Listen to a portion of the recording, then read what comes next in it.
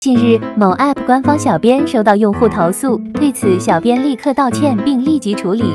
随后发现其实是用户下错了山寨版本，错怪了官方。真的是每天都有人认错，盗版软件实在是太多了。用户自己下错软件，上来就骂我们，可是出来打工能怎么办呢？只能一遍又一遍的澄清啊。其实不少产品都会有这样的困扰，因为现在的市场抄袭成风，错误引导消费者。希望大家在使用 app 购买产品时擦亮双眼，下对正版。